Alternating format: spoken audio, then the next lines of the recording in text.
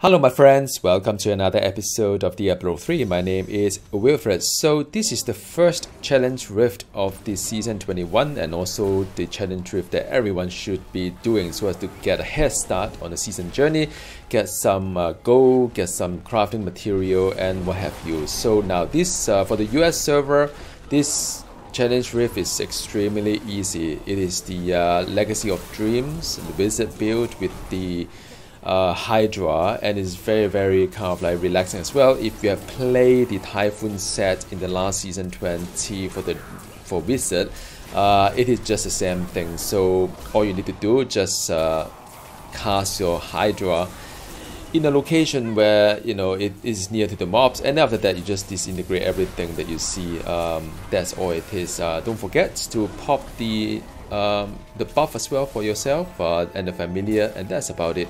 Just keep moving. There's no the teleport in this build so you just have to keep moving. You don't have to bother about the black hole as well because it will just auto cast by the um, uh, by the weapon itself or by the by the sigil itself which is the offhand. So yeah I mean extremely fun and if you have more people you can split up and the progress get a lot easier uh, faster as well um, so this is what it is, uh, very straightforward, just avoid some of this uh, grotesque kind of explosion, uh, keep moving and uh, you know take the shrine, split up, uh, if not, I mean even if you do it on, on your own solo, that is also very very straightforward. So yeah, I mean hope you have fun with this um, this uh, start of the season of the challenge rift. Not all the time is uh, is that straightforward. Sometimes I remember one of the seasons uh, the challenge rift was rather rather difficult, uh, but yeah, I mean this is one of the kinder one to uh, for all of us to start playing this season.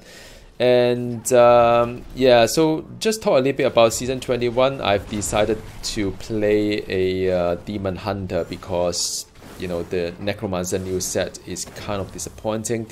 So I uh, you know I read a lot of really good review on the new Demon Hunter set, and I think it's about time I do a little bit, uh, you know, play a little bit more on the class that uh, I seldom play, which is uh, Demon Hunter. So, uh, wishing you all a very happy season 21, and uh, I'll talk to you again soon. Uh, this is, like I said, it's very straightforward. I beat the timing uh, by, by a huge margin, of course, with my wife help as well in this game. All right, see you. Bye bye.